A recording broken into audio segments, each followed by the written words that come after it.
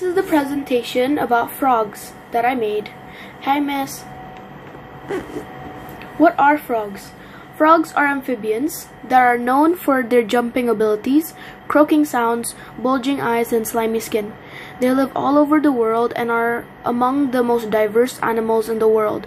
With more than 6,000 species, frogs are substantially outnumbered the two other groups of amphibians, salamanders and caecilians. Differences between frogs and toads.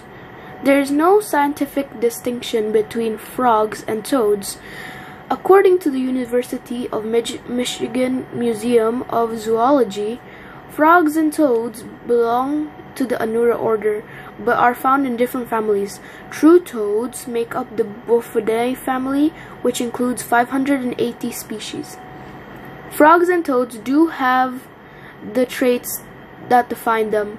However, according to the Maryland Zoo, for example, frogs are mostly aquatic, mo most toads live on land, but near water. Frogs have teeth, toads do not. Toads of both genders have a rudimentary or ovary called a Bidder's organ. Frogs are also typically longer than toads, and as you can see, these are the differences between the frogs and toads in, the, in these two pictures. Where are the frogs' habitats? Adult, adult frogs live in fresh water and on dry land.